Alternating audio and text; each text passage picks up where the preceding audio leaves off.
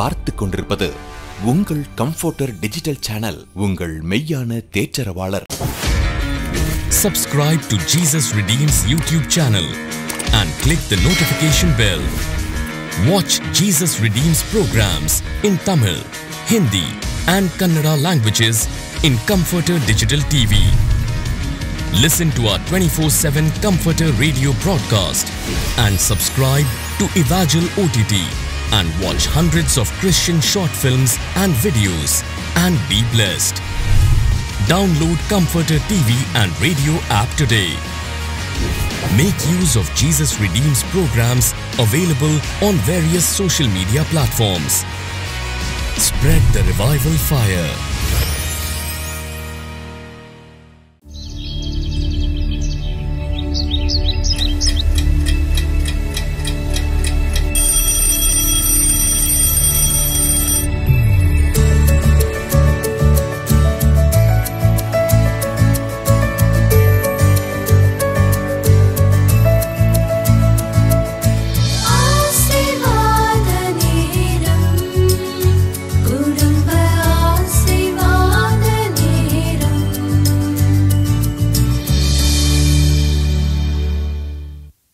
பிரியமானவர்களே இயேசு கிறிஸ்துவின் நாமத்தில் உங்களுக்கு என் அன்பின் வாழ்த்துக்கள். எப்படி இருக்கிறீங்க?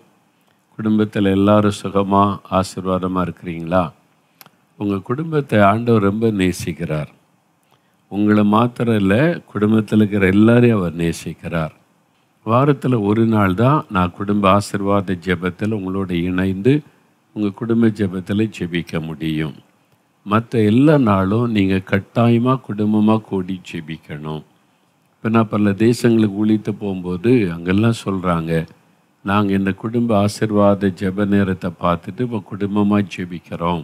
இப்போ குடும்பமாக நாங்கள் ஜெபிக்க ஜெபிக்க நிறைய நன்மைகள் ஆசீர்வாதம் உண்டாகுதுன்னு. உங்களுக்கும் நடந்திருக்குதுல்ல குடும்ப ஜெபத்துக்கு அப்புறம் நிறைய தடைகள் மாறி காரியம் வாய்த்திருக்கிறது நிறைய குடும்பத்தில் செழிப்பு நன்மை உண்டாயிருக்குது. தடைப்பட்ட காரியம் நிறைவேறி இருக்குது. அக்குடும்பம் ரட்சிக்கப்பட்டு இருக்குதுல்ல இதெல்லாம் எங்களுக்கு தெரியப்படுத்துங்க. நீங்கள் தெரியப்படுத்தினா எங்களுக்கு ரொம்ப சந்தோஷம். அந்த சாட்சியை நீங்கள் சொல்லும்போது அநேக குடும்பங்கள் ஆசீர்வதிக்கப்படும்ல. சரி இந்த நாளில் நம்ம மத்தியில் இயேசுடிக்க ஊழி குடும்பத்திலிருந்து ரெண்டு குட்டி பிள்ளைகள் வந்திருக்கிறாங்க. ரெண்டு பெரிய பிள்ளைகள் வந்திருக்கிறாங்க. ரெண்டு தம்பிமார் உட்காந்து மியூசிக் வாசிக்கிற ரெடியாக இருக்கிறாங்க. அப்போ நாங்கள் எங்கள் இயேசுடைய குடும்பம் உங்கள் குடும்பத்தோடு சேர்ந்து நம்ம பாட்டு பாடி ஜெபிக்க போகிறோம். அப்போ நீங்களும் எங்களோட சேர்ந்து பாட்டு பாடணும் சரியா? பாட்டு பாடணும். பைபிள் வசனத்தை தியானிக்கும் போது வசனத்தை நீங்கள் பைபிளை திறந்து பார்க்கணும். ஜெபிக்கும் போது சேர்ந்து ஜெபிக்கணும். அதான் முக்கியம். இவங்க பாட்டு பாடுறாங்க நம்ம கேட்டுக்கிட்டு இருப்போம் அப்படின்னு நீங்கள் அப்படி பார்வையாளராக இருக்கக்கூடாது. சேர்ந்து பாடணும் சேர்ந்து துதிக்கணும். சேர்ந்து வசனத்தை தியானிக்கணும் சேர்ந்து ஜெபிக்கணும். சரியா? சரி என்ன பாட்டு பாடலாம் அப்படின்னு கேட்கலாமா? என்ன பாட்டு? காத்திடுவார் என்னை காத்திடுவார் பாடணும்னு இவர் சொல்கிறாரு நீங்கள் என்ன சொல்கிறீங்க குட்டி பிள்ளைகள் நிறைய பேர் உட்காந்துருக்கீங்களே சரி இவர் இந்த தம்பி சொல்கிற மாதிரி சேர்ந்து எல்லோரும் பாடிடுவோமா காத்திடுவார் அப்படின்னு கரத்தட்டி பாடலாம்.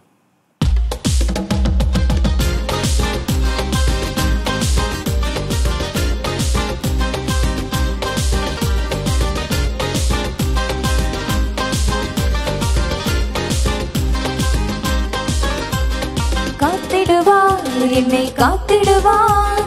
காலமெல்லாம் என்னை காத்திடுவார். கலங்கிட மாட்டேன் நான் கலங்கிட மாட்டேன். கடைசி வரை என்னை காத்திடுவார். காத்திடுவார் என்னை காத்திடுவார். காலமெல்லாம் என்னை காத்திடுவார். கலங்கிட மாட்டேன் நான் கலங்கிட மாட்டேன்.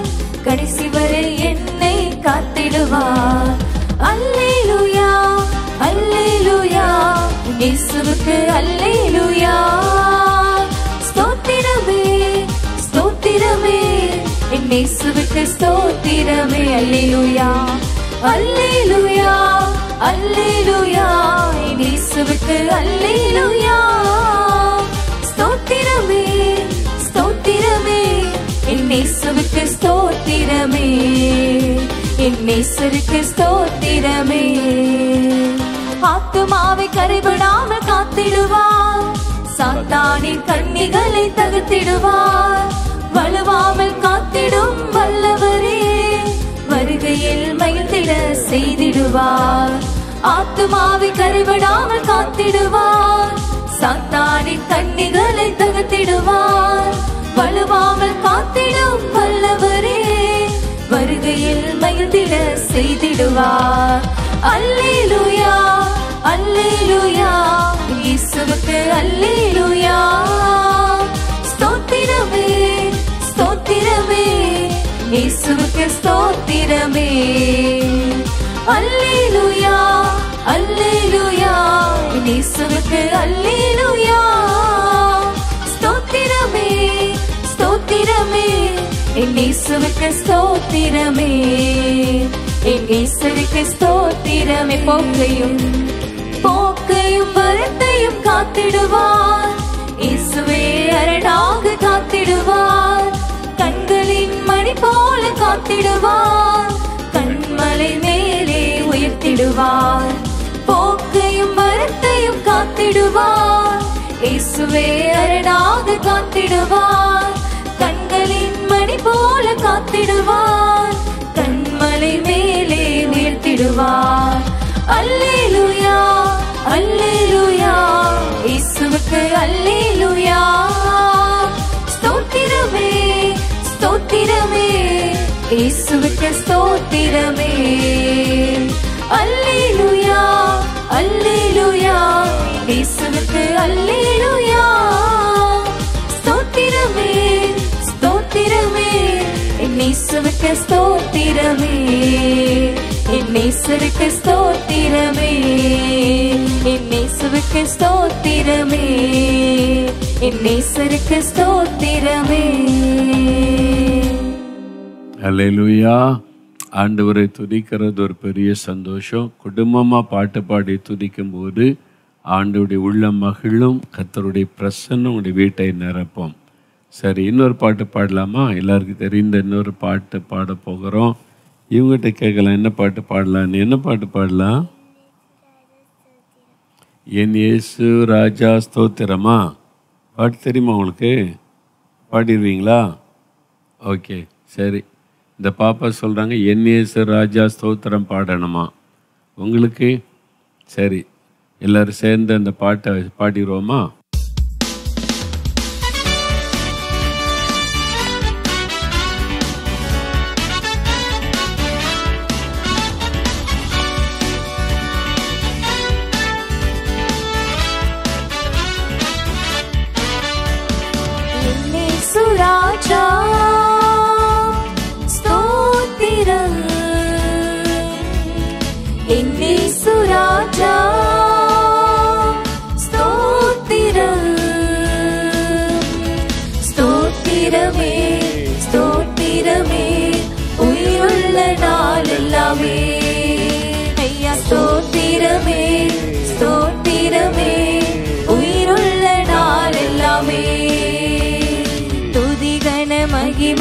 மகிமையெல்லாம் உமக்கே செலுத்துகிறோ துதிதன மகிமையெல்லாம் உமக்கே செலுத்துகிறோ மகிழ்வுடன் ஸ்தோத்திர பலிதனை செலுத்தி ஆராதனை செய்கிறோ மகிழ்வுடன் ஸ்தோத்திர பலிதனை செலுத்தி ஆராதனை செய்கிறோம்.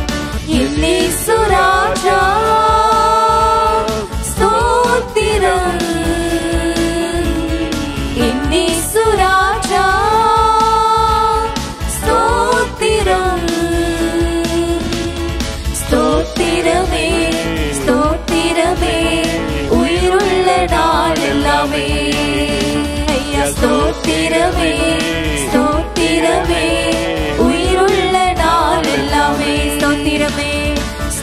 ஸ்தோத்திரமே ஸ்தோத்திரமே. உயிருள்ள நாள் எல்லாமே ஐயா ஸ்தோத்திரமே ஸ்தோத்திரமே. உயிருள்ள நாள் எல்லாமே உயிருள்ள நாளெல்லாம் ஆண்டவரை துதிக்கணும் இல்லை? அப்படியே குடும்பமாக ஆண்டவரை பார்த்து சொல்லுங்கள் ஸ்தோத்திரம் ஆண்டவரே உமக்கு ஸ்தோத்திரம். எங்களை இம்மட்டும் நடத்தின தேவனுக்கு ஸ்தோத்திரம். எங்களோடு எங்கள் வீட்டில் இருந்து எங்களை பாதுகாக்கு எங்களை வழிநடத்துகிற தேவனுக்கு ஸ்தோத்திரம். எங்களுடைய ஜெபத்தை கேட்கிற தேவனுக்கு ஸ்தோத்திரம் ஸ்தோத்திரம். இயேசுவின் நாமத்தில் ஆமேன் ஆமேன். சரி. இப்போ வேத வசனத்திலிருந்து கொஞ்ச நேரம் தியானித்து நம்ம ஜெபிக்க போகிறோம். வேத புஸ்தகத்தில் எண்ணாகமும் பன்னிரெண்டாம் அதிகாரம் எடுத்துக்கொள்ளுங்க. நம்ம தொடர்ச்சியாக ஆதியாமத்திலிருந்து அப்படியே ஒவ்வொரு பகுதியாக தியானித்து கொண்டே நம்ம வருகிறோம்ல. இப்போ எண்ணாகமம் பன்னிரெண்டாம் அதிகாரம் எடுத்துக்கொள்ளுங்க எண்ணாகம பதினோராம் அதிகாரத்தில் சில சம்பவங்களை நாம் கடந்த வாரத்தில் தியானித்தோம். இந்த நாளில் எண்ணாகம பன்னிரெண்டு அதிகாரத்தில் சில வசனத்தை வாசிக்கிறேன்.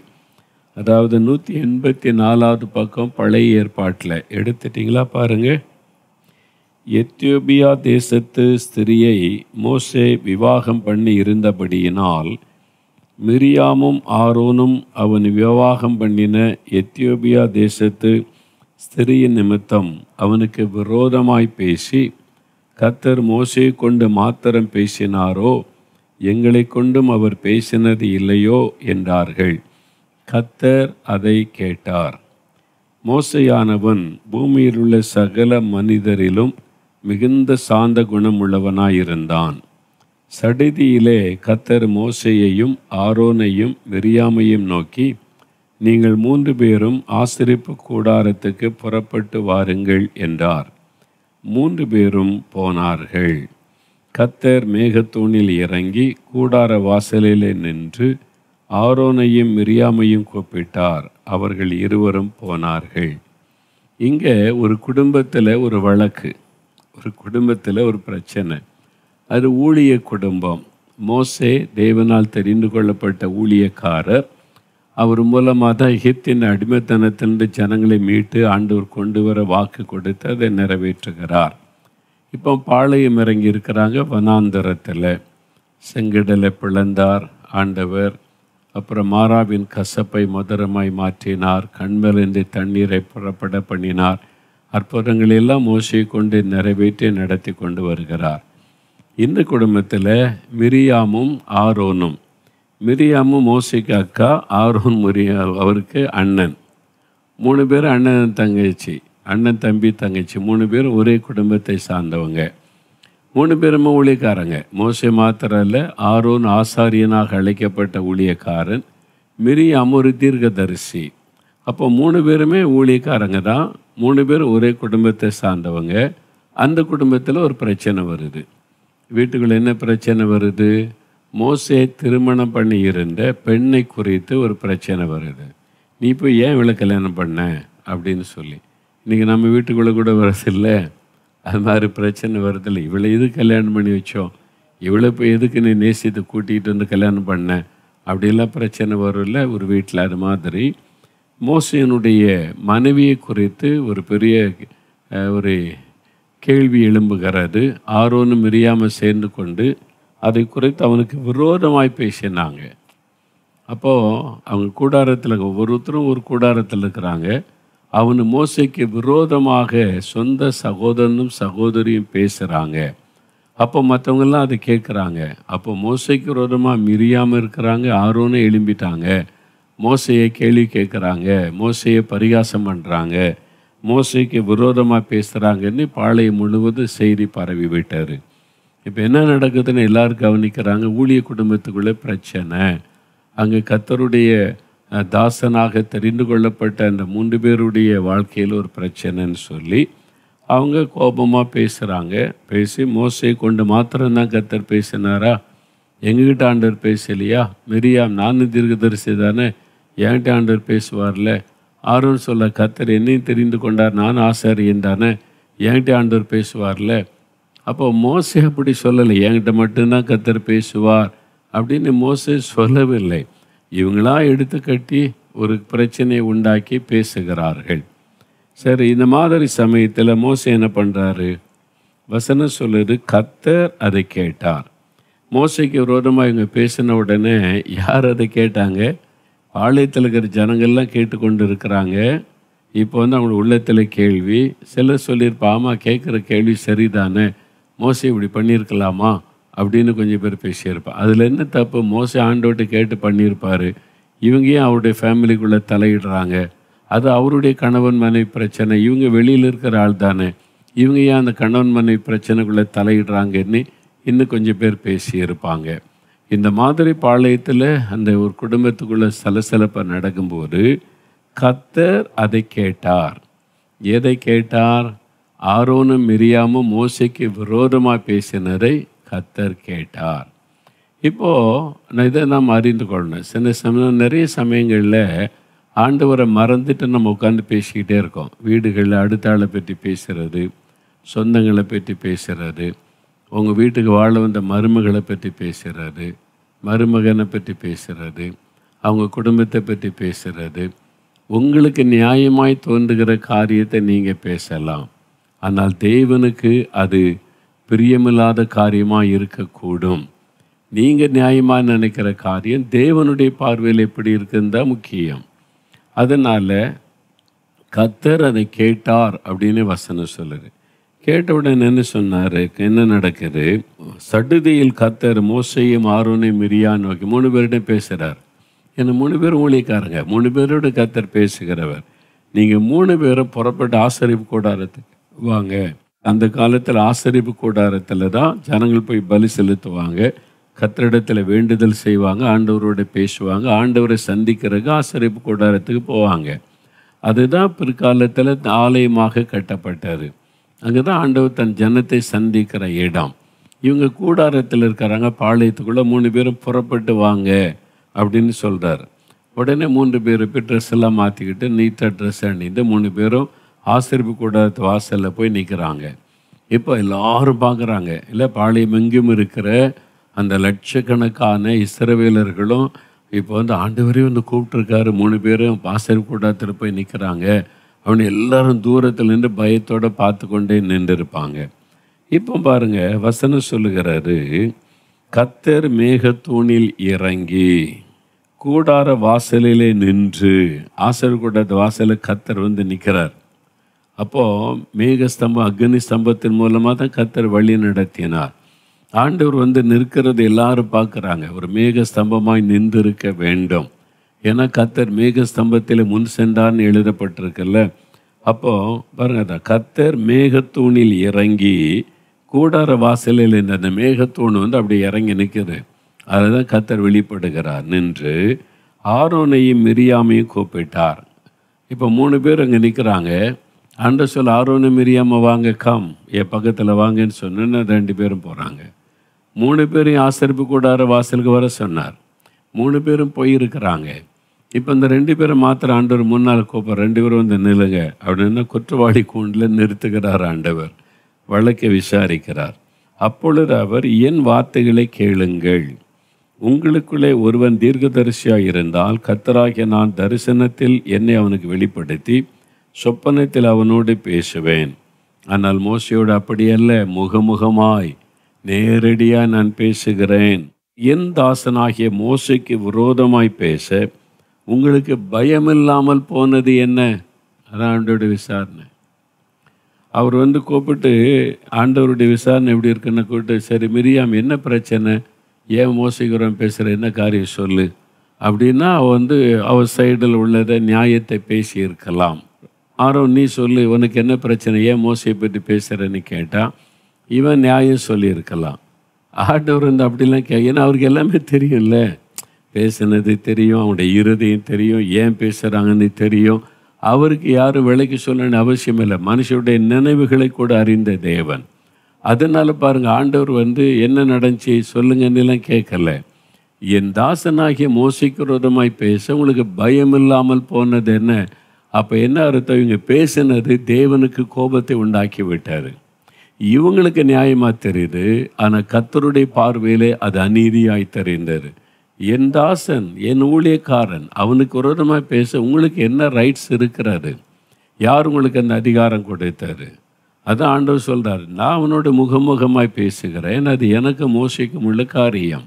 அவனுடைய ஃபேமிலி காரியம் மோசைக்கு எனக்குள்ள காரியம். நீங்கள் யார் அதை குறித்து பேச? அப்படின்ற மாதிரி ஆண்டவர் பேச பேசிட்டு கத்தருடைய கோபம் அவர்கள் மேல் மூண்டது அவர் போய்விட்டார். ஆண்டவர் கோபத்தோட போயிட்டார். அவர் வந்து இவன்கிட்ட கேட்க விளக்கெல்லாம் கேட்க மாட்டார். நீ என்ன சொல்கிற நான் அப்படி நினைக்க நீ என்ன சொல்கிற அப்படிலாம் கத்தர் கேட்க மாட்டார். அவருடைய இருதயம் தெரியும். ரெண்டு பேரும் தப்பு பண்ணிட்டாங்க. மோசைக்கு விரோதமாய் பொறாமை கொண்டு எழும்பிட்டாங்க. அவனை குற்றப்படுத்தும்படி பேசிட்டாங்க. அப்போ அதனால ஒருவேளை பாளையத்தில் உள்ளவங்க தூண்டி விட்டுருப்பாங்க. என்ன மோசே அவர் மட்டும் தானா? நீயும் தீர்க்கதரிசி தானே?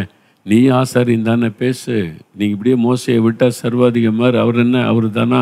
கத்துறவங்கள்ட்ட தான் பேசுகிறாரு எல்லாம் தூண்டி விட்டுருப்பாங்க. இவங்க பேச்செல்லாம் கேட்டு பேசி இப்போ பாருங்கள் ஆண்டவர் வந்து கோபத்தோடு போயிட்டாராம். அப்போ எனக்கு அன்பானவர்களே உங்கள் வீட்டுக்குள்ளே கூட இந்த மாதிரி பிரச்சனை வரும். கணவன் மனைவிக்குள்ளே வீட்டார். ஓ அப்பா அம்மா உங்கள் அப்பா அம்மா என்ன என்ன? ஓ அண்ணன் தம்பின்னா என்ன? இது மாதிரிலாம் மற்றவங்களை குறைத்து வீட்டில் இல்லாத சம்பந்தமில்லாத ஆட்களை குறைத்து பேசக்கூடாது. இந்த வீணான பேச்சு தான் பாவத்தை பிறப்பித்து விடும். உங்களுக்கு அது நியாயமாக தெரியும். நீங்கள் பேசும்போது நீங்கள் எடுத்து சொல்லும்போது உங்கள் சைடுக்கு நியாயமாக அது தெரியலாம். தேவனுடைய பார்வையில் எப்படி என்பதுதான் முக்கியமான கேள்வி. ஆண்டவுடைய பார்வையில் அது சரியாக இருக்குமா என்பதுதான் ரொம்ப கவனம் செலுத்தணும். ஆண்டவர் கோபம் எடுத்தார். கோபத்தோடு அவர் போயிட்டார் அவ்வளோதான் அவ்வளோதான் கோபப்பட்டு போன உடனே பாருங்க கத்தருடைய கோபம் அவர்கள் மேல் மூண்டது. அதனால மிரியாம் உறைந்த மழையில் வெண்குஷ்டரோகி ஆனாள் வெண்குஷ்டம் வந்து விட்டார் அவளுக்கு உடனே. குஷ்டரோகம் வந்துட்டா அவங்கள தீட்டானவளாக கருதுவாங்க. பாளையத்துக்குள்ளே வைக்க மாட்டாங்க வீட்டுக்குள்ளே சேர்க்க மாட்டாங்க. அந்த மாதிரி அவள் பாளையத்துக்கு புறம்பாக்கக்கூடிய ஒரு வியாதி உடனே ஆண்டவர் சரீரத்தில் தோன்ற பண்ணிவிட்டார் கத்தருடைய கோபம். அதனால தான் உங்கள் வீட்டில் ஜெபிக்கிற கணவர் ஜெபிக்கிற மனைவி ஜெபிக்கிற பிள்ளைகள் ஆண்டவரோட நல்ல ஐக்கியமாக இருந்தால் அவங்களை குறித்து நீங்கள் ரொம்ப கவனமாக இருக்கணும். அவங்களுக்கு விரோதமாக ஏதாவது பேசிட்டீங்கன்னா ஆண்டவர் கோபப்பட்டு எழும்புவார். நீ யார் என் பிள்ளை குறித்து பேச? நீ யார் என் மகளை குறித்து பேச? நீ யார் என் மகனை குறித்து பேச? அப்படின்னு சொல்லி. அதனால் இந்த வாயின் வார்த்தைகளை குறித்து நம்ம ரொம்ப கவனமாக இருக்கணும். மற்றவங்களுக்கு விரோதமாய் பேசக்கூடாது. யாருக்கு விரோதமாகவும் உங்கள் வீட்டுக்குள்ளே பேசுகிறதுக்கு இடம் கொடுக்கக்கூடாது. பிள்ளைகளுக்கு சொல்லணும். யாருக்கு விரோதமாக அப்படி பேசக்கூடாது தப்பு அப்படின்னு சொல்லி கொடுக்கணும். நீங்களும் பேசக்கூடாது. உங்கள் வீட்டாரையும் பேச இடம் கொடுக்கக்கூடாது. பேசுகிறது நிமித்தம் தேவ கோபம் உங்கள் வீட்டில் வந்திருந்தால் உங்களை யாரும் காப்பாற்ற முடியாது. அந்த பாதிப்பு வியாதி நஷ்டம் இழப்பு இந்த மாதிரி வரக்கூடும். அது வந்து உங்களை யாராலையும் சரிப்படுத்த முடியாது. எத்தனை முயற்சி பண்ணினாலும் அதை சரியாக்கி நீங்கள் வந்துட முடியாது. அதனால் ஆண்டவரே எங்களை மன்னிச்சிருங்க. எங்களுடைய வாயின் வார்த்தைகள் நாங்கள் பேசினது அடுத்தவங்களுக்கு ஒரு விதமாக ஊழியக்காரங்களுக்கு விரோதமாக எங்கள் வீட்டில் யாராவது பேசியிருந்தால் மன்னிச்சிருங்கன்னு சொல்லி மன்னிப்பு கேட்டு பிள்ளைகளுக்கும் அதை போதிக்கணும். யாரை குறித்தும் பேசக்கூடாது. சபைக்கு ஆராதனைக்கு போனோமா வந்தோமா அங்குள்ள அடுத்தவங்களுக்கு போதகரை குறித்து பாஸ்டரை குறித்து ஊழியக்காரத்தை அவர் அப்படி இப்படி இதெல்லாம் பேசக்கூடாது. தேவனுடைய பார்வையில் அது குற்றமாகி கோபத்தை உண்டாக்கிட்டால் உங்கள் குடும்பம் பாதிக்கப்பட்டோம் அப்படி பாதிக்கப்பட்ட குடும்பம் இருக்கிறீங்க. அதனால தான் கத்தர் உங்களோட பேசுகிறார். அதனால் இன்றைக்கு யோசித்து பாருங்கள் ஆண்டோடைய சமூகத்தில் ஒப்பு கொடுக்கணும். அப்படியே முழங்கால் படிக்கிடுங்க அப்படியே முழங்கால் படியிட்டு விட்டு சொல்லுங்கள் ஆண்டவரே நாங்கள் பேசுகிறதெல்லாம் நீங்கள் கவனித்து கொண்டு இருக்கிறீங்க எங்கள் வீட்டில் நடக்கிறது பேசுகிறது எல்லாம் பார்க்குறீங்க நாங்கள் யாரையும் குற்றப்படுத்தி பேசக்கூடாது. முக்கியமாக உங்களுடைய ஊழியக்காரர்களை நாங்கள் குற்றப்படுத்தி பேசக்கூடாது. நாங்கள் ஆராதனைக்கு போயிட்டு வந்து பாஸ்டரை குறித்தோ போதகரை குறித்தோ பிஷப்பை குறித்தோ குற்றப்படுத்தி பரிகாசம் பண்ணிலாம் நாங்கள் பேசிடக்கூடாது எங்களை காத்துக்கொள்ளும் எங்களுடைய நாவுக்கு காவல் வையும். எங்கள் பிள்ளைகள் யாரும் பேசிடக்கூடாது. நாங்களுடைய பேசியிருந்தால் எங்களை மன்னியும். அந்த சாபம் சில குடும்பத்தை இன்னும் பாதித்து கொண்டு இருக்கிறது நீங்கள் பேசின விஷயம் அது தேவனை கோபப்படுத்தினதுனால உங்களுக்கு நஷ்டம் வந்திருக்குது இழப்பு வந்திருக்குது வியாதி வந்திருக்குது தடைகள் வந்திருக்கிறது. நீங்கள் என்னென்னவோ ஜோமணி பார்க்குறீங்க மாற மாட்டேங்குது. உங்களை ஒப்பு கொடுங்க இன்றைக்கு அதை அறிக்கையிடுங்க. எங்களுடைய வாயின் வார்த்தைகள் விரோதமாய் பேசின வார்த்தைகளை மன்னியும் ஆண்டவரேன்னு சொல்லுங்கள் தேங்க்யூ ஜீசஸ் ஆண்டவரே நீர் இந்த மகனோடு மகளோடு பேசி கொண்டிருக்கிறீர். இந்த குடும்பத்தில் ஆசிர்வாதம் தடைப்பட்டு போக அவனுடைய வீணான வார்த்தையின் பேச்சுக்கள் ஊழியக்காரர்களுக்கு விரோதமாய் பரிசுத்தவான்களுக்கு விரோதமாய் பேசின வார்த்தைகளை மன்னியும். இதோ ஆண்டவரே மன்னியும்னு ஜெபிக்கிறாங்க. தயவாக மன்னியும் இரக்கம் செய்யும். இனி பேசாதபடி காத்துக்கொள்ளும். எங்கள் வீட்டுக்குள்ளே யாரை குறித்து தீங்கி பேசக்கூடாது யாரையும் பரிகாசம் பண்ணி பேசக்கூடாது யாரையும் குற்றப்படுத்தி பேசக்கூடாது. ஆண்டவர் எங்கள் குடும்பத்தில் இருக்கிற எல்லாரையும் காத்துக்கொள்ளுங்க. எங்களுடைய கடந்த காலத்தில் அந்த தவறு செய்திருந்தா மன்னிங்க. மன்னிச்சு உதவி செய்யுங்க. எங்கள் சபையில் எங்கள் தெருவில் இங்கே இருக்கிற கிறிஸ்தவர்கள் யாரும் மற்றவர்களை குற்றப்படுத்தி பேசாதபடிக்கு கத்தர் காத்துக்கொள்ளும். அந்த பாவம் அந்த சாபம் கிறிஸ்தவ சமுதாயத்தை விட்டு விலகட்டும். மற்றவளை குறை சொல்லி குற்றப்படுத்தி பேசுகிற வேதனைப்படுத்துகிற அந்த காரியங்கள் எல்லாம் கிறிஸ்தவ குடும்பங்களை விட்டு விலகட்டும். சபைகளை விட்டு விலகட்டும் என்று செபிக்கிறோம். எழுப்பதில் அக்னி போடப்படட்டும். ஒரு ஆவிக்குரிய மாற்றம் உண்டாகட்டும். ஆண்வியானவரே உம்முடைய வல்லமை இறங்கட்டும் என்று செபிக்கிறோம். இன்றைக்கு குடும்பங்கள் பரிசுத்தமாக்கப்படட்டும். சாபக்கட்டுகள் மாறட்டும். இனி அப்படி யாரை குறைத்து தீங்கு பேசாதபடி குறை சொல்லாதபடி எங்களுடைய நாவுக்கு காவல் வைத்தருளும் எங்களை ஒப்பு கொடுக்கிறோம் யார் யார் அப்படி செபிக்கிறாங்களோ அவங்களை எல்லாம் ஆசீர்வதிங்க. எல்லா கிறிஸ்தவ குடும்பத்தில் அந்த எழுப்புதல் உண்டாகட்டும். யாரையும் குறித்து தீது பேசாதபடி காத்துக்கொள்ளும். ஆண்டோர் அப்படி ஆசீர்வதிக்கிற அன்பிற்காய் ஸ்தோத்திரம் ஸ்தோத்திரம். இயேசு கிறிஸ்துவின் நாமத்தில் செபிக்கிறோம் பிதாவே. ஆமேன் ஆமேன். என் ஆத்மாவே கத்தரை சோஸ்தரி. என் முழு உள்ளமே அவருடைய பரிசுத்தமுள்ள நாமத்தை சோஸ்தரி. என் ஆத்மாவை கத்தரை சோஸ்தரி. அவர் செய்த சகல உபகாரங்களை மறவாதே. ஆமேன் ஆமேன். எங்கள் குடும்பம் எங்கள் குடும்பம் எங்கள் குடும்பம். இயேசுவின் குடும்பம் மகிழ்ச்சியான குடும்பம் ஆசீர்வாதமான குடும்பம். இயேசுவே குடும்ப தலைவர் இயேசுவே குடும்ப டாக்டர். இயேசுவே குடும்ப நண்பர் இயேசுவே எங்களுக்கெல்லாம் இயேசுவே குடும்ப தலைவர் இயேசுவே குடும்ப டாக்டர் இயேசுவே குடும்ப நண்பர் இயேசுவே எங்களுக்கு This program is sponsored by Brother Money and Family, Coimbatore. Happy birthday, baby Tanisha Rachel. சங்கீதம் நூற்றி இருபத்தி ஒன்று ஏழின் படி கர்த்தர் உங்களை எல்லா தீங்குக்கும் விலக்கி காப்பாராக Brother Asirvadam and Family, Chengalpet. Happy birthday, Brother Asirvadam. யாத்ராகமம் முப்பத்து நான்கு பத்தின் படி பூமி எங்கும் எந்த ஜாதிகளிடத்திலும் செய்யப்படாத அதிசயங்களை கர்த்தர் உங்களுக்கு செய்வாராக Brother Ranjit Kumar and Family, Coimbatore. Megha நான்கு பத்தின் படி கர்த்தர் உங்களை உங்கள் சத்துருக்களின் கைக்கு நீங்களாக்கி மீட்பாராக Sister Deepa Selin and Family, Chennai. யோபு ஐந்து ஒன்பதின் படி ஆராய்ந்து முடியாத பெரிய காரியங்களையும் எண்ணி முடியாத அதிசயங்களையும் கர்த்தர் உங்களுக்கு செய்வாராக Sister Arul Merlin and Family, Karaikudi. வாகமம் இருபத்து எட்டு ஒன்றின் படி கர்த்தர் பூமியில் உள்ள சகல ஜாதிகளிலும் உங்களை மேன்மையாக வைப்பாராக Brother Jnanadas and Family, Coimbatore. ஏசாயா ஐம்பத்து நான்கு மூன்றின் படி நீங்கள் வலதுபுறத்திலும் இடதுபுறத்திலும் இடங்கொண்டு பெருகுவீர்களாக Sister Pooja and Family, Bangalore. யோசுவா ஒன்று ஐந்தின் படி கர்த்தர் மோசேயோடு இருந்தது போல உங்களோடும் இருப்பாராக. அன்பானவர்களே நீங்களும் தொலைக்காட்சி ஊழிய பங்காளராகிட தொடர்பு கொள்ள வேண்டிய தொலைபேசி எண் ஒன்பது ஒன்பது நான்கு இரண்டு இரண்டு நான்கு ஆறு ஆறு ஒன்று ஒன்று. இமெயில் முகவரி partners at Jesus dot O R G God bless you.